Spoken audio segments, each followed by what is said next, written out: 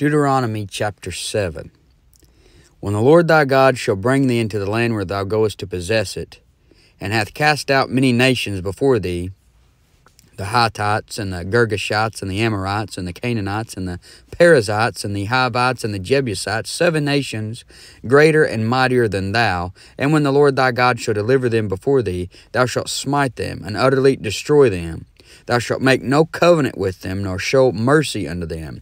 Neither shalt thou make marriages with them. Thy daughter thou shalt not give unto his son, nor his daughter shalt thou take unto thy son. For they will turn away thy son from following me, that they may serve other gods. So will the anger of the Lord be kindled against you, and destroy thee suddenly. But thus shall ye deal with them. Ye shall destroy their altars, and break down their images, and cut down their groves, and burn their graven images with fire. For thou art an holy people unto the Lord thy God. The Lord thy God hath chosen thee to be a special people unto himself, above all people that are upon the face of the earth. The Lord did not set his love upon you, nor choose you, because ye were more in number than any people, for ye were the fewest of all people but because the Lord loved you, and because he would keep the oath which he had sworn unto your fathers, hath the Lord brought you out with a mighty hand, and redeemed you out of the house of bondmen, from the hand of Pharaoh king of Egypt. Know therefore that the Lord thy God, he is God, the faithful God, which keepeth covenant and mercy with them that love him, and keep his commandments to a thousand generations, and repayeth them that hate him to their face, to destroy them. He will not be slack to him that hateth him, he will repay him to his face. Thou shalt therefore keep the commandments and the statutes and the judgments which I command thee this day to do them. Wherefore it shall come to pass, if ye hearken to these judgments, and keep and do them, that the Lord thy God shall keep unto thee the covenant and the mercy which he sware unto thy fathers. And he will love thee, and bless thee, and multiply thee. He will also bless the fruit of thy womb, and the fruit of thy land, thy corn, and thy wine, and thine oil, the increase of thy kind, and the flocks of thy sheep, and the land which he sware unto thy fathers to give thee. Thou shalt be blessed above all people. There shall not be male or female barren among you, or among your cattle. And the Lord will take away from thee all sickness, and will put none of the evil diseases of Egypt, which thou knowest, upon thee, but will lay them upon all them that hate thee. And thou shalt consume all the people which the Lord thy God shall deliver thee. Thine eye shall have no pity upon them. Neither shalt thou serve their gods, for that will be a snare unto thee. If thou shalt say in thine heart, These nations are more than I, how can I dispossess them?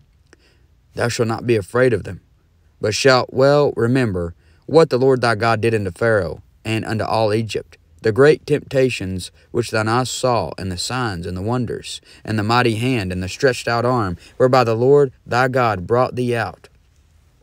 So shall the Lord thy God do unto all the people of whom thou art afraid. Moreover, the Lord thy God will send the hornet among them, until they that are left and hide themselves from thee be destroyed. Thou shalt not be affrighted at them, for the Lord thy God is among you, a mighty God and terrible. And the Lord thy God will put out those nations before thee by little and little. Thou mayest not consume them at once, lest the beasts of the field increase upon thee. But the Lord thy God shall deliver them unto thee, and shall destroy them with a mighty destruction until they be destroyed. And he shall deliver their kings into thine hand, and thou shalt destroy their name from under heaven. There shall no man be able to stand before thee until thou have destroyed them. The graven images of their gods shall ye burn with fire. Thou shalt not desire the silver or gold that is on them, nor take it unto thee, lest thou be snared therein, for it is an abomination to the Lord thy God. Neither shalt thou bring an abomination into thine house, lest thou be a cursed thing like it. But thou shalt utterly detest it, and thou shalt utterly abhor it, for it is a cursed thing. Deuteronomy chapter 8 all the commandments which I command thee this day shall ye observe to do, that ye may live and multiply, and go in and possess the land which the Lord sware unto your fathers. And thou shalt remember all the way which the Lord thy God led thee these forty years in the wilderness, to humble thee, and to prove thee, to know what was in thine heart, whether thou wouldest keep his commandments or no. And he humbled thee, and suffered thee to hunger, and fed thee with manna, which thou knewest not, neither did thy fathers know, that he might make thee know that man doth not live by bread only, but by every word that proceedeth out of the mouth of the Lord doth man live. Thy raiment wax not old upon thee, neither did thy foot swell these forty years. Thou shalt also consider in thine heart that as a man chasteneth his son, so the Lord thy God chasteneth thee. Therefore thou shalt keep the commandments of the Lord thy God, to walk in his ways, and to fear him. For the Lord thy God bringeth thee into a good land, a land of brooks of water, of fountains, and depths that spring out of valleys and hills, a land of wheat and barley, and vines, and fig trees, and pomegranates, a land of oil, olive, and honey, a land wherein thou shalt eat bread without scarceness, thou shalt not lack anything in it, a land whose stones are iron, and out of whose hills thou mayest dig brass, when thou hast eaten and art full, then thou shalt bless the Lord thy God for the good land which he hath given thee. Beware that thou forget not the Lord thy God, in not keeping his commandments and his judgments and his statutes which I command thee this day, lest when thou hast eaten and art full, and hast built goodly houses and dwelt therein, and when thy herds and thy flocks multiply, and thy silver and thy gold is multiplied, and all that thou hast is multiplied, then thine heart be lifted up and thou forget the Lord thy God, which brought thee forth out of the land of Egypt from the house of bondage, who led thee through that great and terrible wilderness, wherein were fiery serpents and scorpions and drought, where there was no water, who brought thee forth water out of the rock of flint, who fed thee in the wilderness with manna, which thy fathers knew not, that he might humble thee, and that he might prove thee, to do thee good at thy latter end. And thou say in thine heart, My power and the might of mine hand hath gotten me this wealth. But thou shalt remember the Lord thy God, for it is he that giveth thee power to get wealth, that he may establish his covenant which he sware unto thy fathers, as it is this day. And it shall be, if thou do at all forget the Lord thy God, and walk after other gods, and serve them, and worship them, I testify against you this day, that ye shall surely perish. As the nations which the Lord destroyeth before your face, so shall ye perish, because ye would not be obedient unto the voice of the Lord your God. Matthew chapter 17.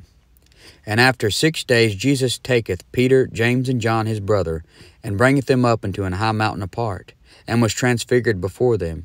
And his face did shine as the sun, and his raiment was white as the light. And behold, there appeared unto them Moses and Elias talking with them. Then answered Peter and said unto Jesus, Lord, it is good for us to be here.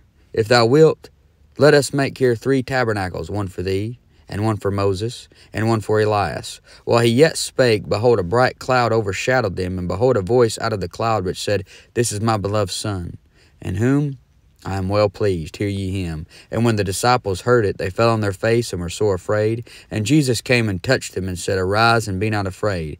And when they had lifted up their eyes, they saw no man save Jesus only. And as they came down from the mountain, Jesus charged them, saying, Tell the vision to no man, until the Son of Man be risen again from the dead.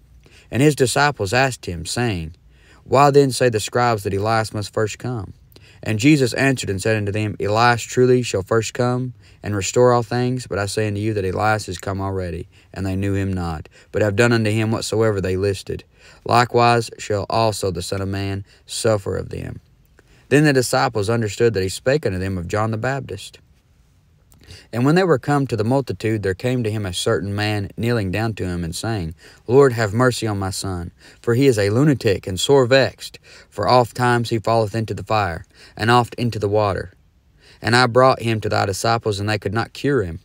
Then Jesus answered and said, O faithless and perverse generation, how long shall I be with you? How long shall I suffer you? Bring him hither to me. And Jesus rebuked the devil, and he departed out of him. And the child was cured from that very hour. Then came the disciples to John apart and said, Why could not we cast him out? And Jesus said unto them, Because of your unbelief. For verily I say unto you, if ye have faith as a grain of mustard seed, ye shall say unto this mountain, Remove hence to yonder place, and it shall remove, and nothing shall be impossible unto you. Howbeit this kind goeth not out but by prayer and fasting. And while they abode in Galilee, Jesus said unto them, The Son of Man shall be betrayed into the hands of men, and they shall kill him, and the third day he shall be raised again. And they were exceeding sorry. And when they were come to Capernaum, they that received tribute money came to Peter and said, Doth not your master pay tribute? He saith, Yes. And when he was coming to the house, Jesus prevented him, saying, What thinkest thou, Simon? Of whom do the kings of the earth take customary tribute? Of their own children, or of strangers? Peter saith unto him, Of strangers. Jesus saith unto him, Then are the children free. Notwithstanding, lest we should offend them, go thou to the sea, and cast an hook, and take up the fish that first cometh up, and when thou hast opened his mouth, thou shalt find a piece of money. That take, and give unto them for me and thee. Matthew chapter 18. At the same time came the disciples unto Jesus, saying, Who is the greatest in the kingdom of heaven? And Jesus called a little child unto him, and set him in the midst of them, and said, Verily I say unto you, except ye be converted and become as little children, ye shall not enter into the kingdom of heaven. Whosoever therefore shall humble himself as this little child, the same is greatest in the kingdom of heaven. And whoso shall receive one such little child of my name, receiveth me. And whoso shall offend one of these little ones which believe in me, it were better for him that a millstone were hanged about his neck, and that he were drowned in the depth of the sea. Woe unto the world because of offenses! For it must needs be that offenses come. But woe to that man by whom the offense cometh. Wherefore, if thy hand or thy foot offend thee, cut them off, and cast them from thee. It is better for thee to enter into life halt or maimed, rather than having two hands or two feet to be cast into everlasting fire. And if thy eye offend thee, pluck it out and cast it from thee.